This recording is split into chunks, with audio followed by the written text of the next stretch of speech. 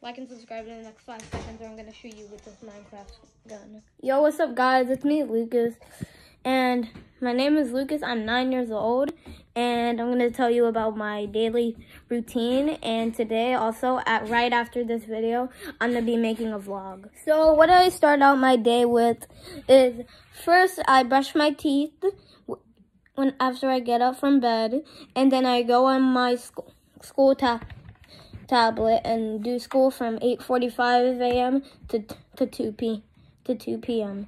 Then next what I do is I play my Switch for about an hour or two, and then what I do is I go on to the work and do my homework. And then what I do is some days I go to my taekwondo.